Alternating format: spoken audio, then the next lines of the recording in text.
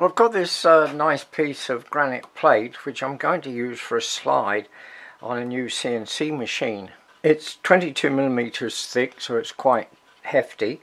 I need to drill quite a lot of holes to bolt through to hold these trucks for a couple of linear rails that go down alongside. I use these diamond coated core drills to drill through. Drilling anything like this it needs a lot of cooling and uh, water does a good job of that. To contain the water I have this uh, aluminium ring to, is to fill this with water. It's down to about two and a half millimeters, that didn't take very long.